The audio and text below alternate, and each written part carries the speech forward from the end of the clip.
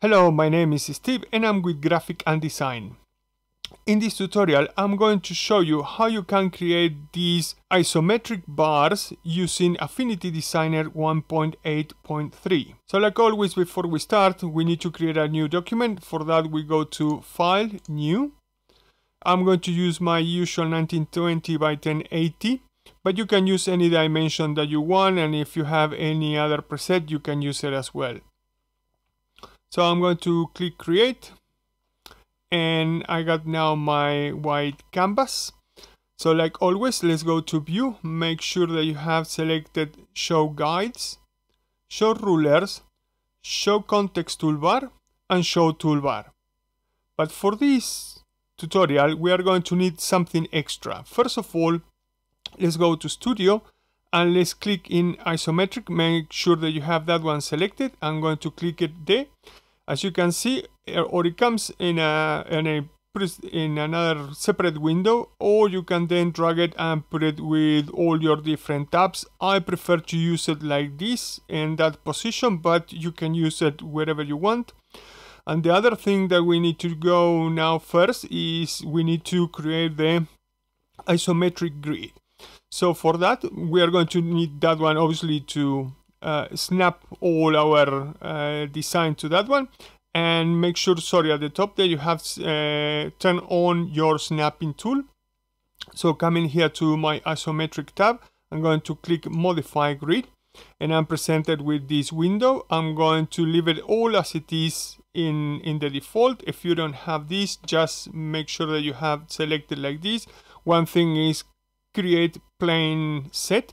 And the other one is let's go to, to the top and make sure that you have show grid selected. So now we can see the grid and now we can close that window there.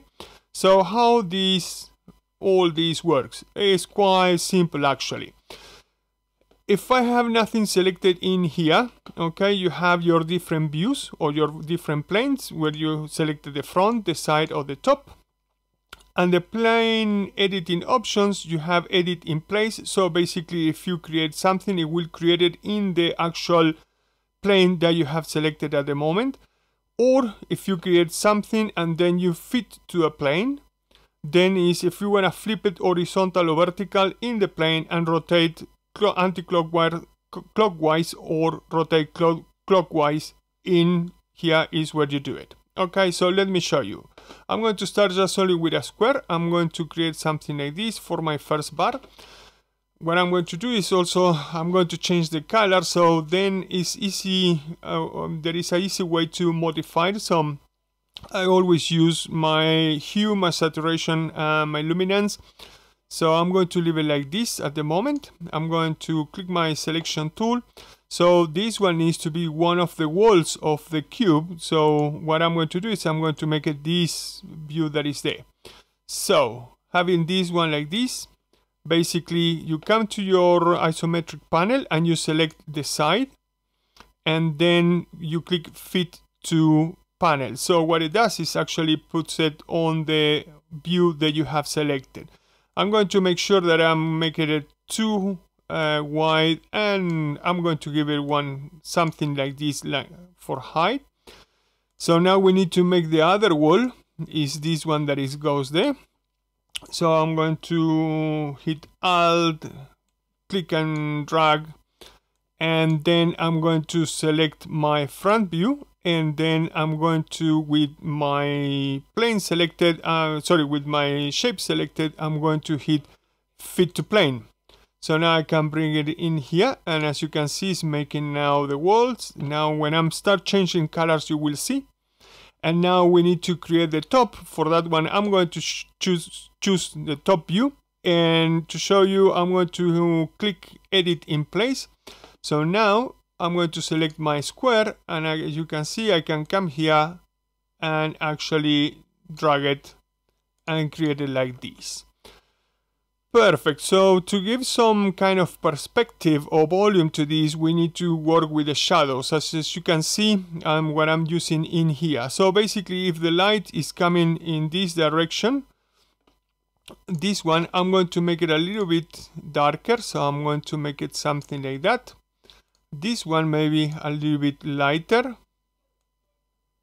something like that would be fine yes and then this one I'm going to make it a little bit darker but not as dark as this one. Okay?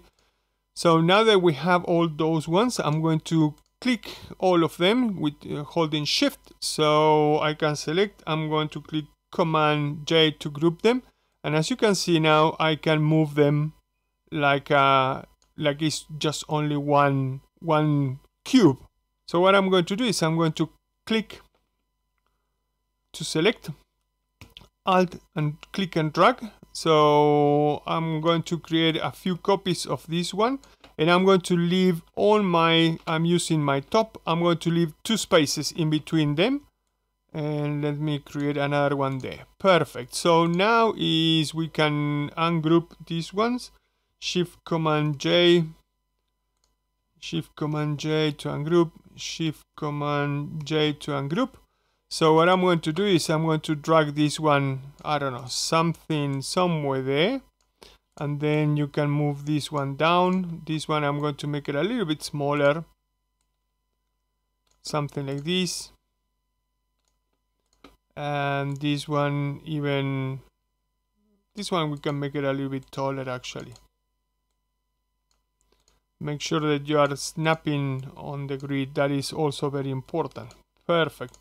So now I'm going to change the color. So if I click on this one and I change the color and I put something like that yellow there I know that is 54 so if I come here now in my hue I put 54 and then I click on that one and I 54 and as you can see they're all the same kind of shade. So um, this one let's make it something something like that 180 so let's choose that one there and 180 and this one here as well 180 and this one the the last one we can choose something on ranging on the blue or somewhere there. 276 we click here. 276 we type. Uh, 276 perfect. So now we need to put the floor in here. So what I'm going to do is I'm going to grab in there and maybe move it up to there. And I'm going to give it a gray kind of color and then I'm going to move it to the back. So as you can see now this is starting taking shape. And what I'm going to do is maybe this one. I'm going to move it one in so we have that and this one. Let me snap it there and move this one and snap it there. Perfect. So maybe we can do this one a little bit smaller. Let me ungroup this one uh, so I can have some space at the top. And maybe this one somewhere there will be much better Okay, so yeah, I think we are fine there. So now we need to start putting actually some numbers in here. So I'm going to click in the click and drag and I need to select my side and fit to plane. So I'm going to put, for example, 100% and you can actually move it and put it somewhere in there and we can make it a little bit smaller. And now I'm going to duplicate all these ones. And then we can put for example this one you double click 70% uh, and this one uh, this is for argument's sake. If you are making a um, an infographic with this obviously you need to keep the the proportions um, is very important and make sure that uh, they are all in the middle. So perfect. We have something there. I'm going to unclick that one and I'm going to put uh, let's create an arrow arrow there. So I'm going to create something like this and this other side there is nothing in there and no I'm going to make it like this a little bit like that. Opa, there we go. So this one should go to the front to so fit to plane. And I can put it one in there and I can make it something like this. And let's change the color to something more uh, a little bit there a little bit there I think that color is fine. And now what I'm going to do is command J to duplicate this one. I'm going to move it. And what I'm going to do is now we need on the vertical side. So fit to plane. And now we need to rotate this one. And actually we can we can actually put it in there. And that one in there as well. And this one obviously we need to make it a little bit smaller. Perfect. So as you can see this is quite simple and with the aid of the grid it's actually very simple and very quick how you can create these kind of uh, infographics or uh, kind of designs using the isometric view let me show the grid off. And like always I'm going to put this one in the middle. There we go. And I'm going to create my background. I'm going to send this one to the back.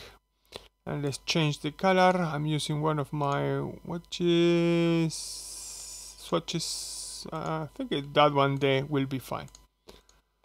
So perfect. As you can see it's quite simple and uh, understanding how the editing planes and the views they work so it's very simple and very easy to create your own kind of infographics Perfect, I think that's it for this video. I hope you like it. If you did, please remember to subscribe to give the thumbs up. Hit the notification bell so you don't miss any of my videos. And please leave any comment in the section down below. Thank you very much for watching and like always, I'm seeing you in the next video.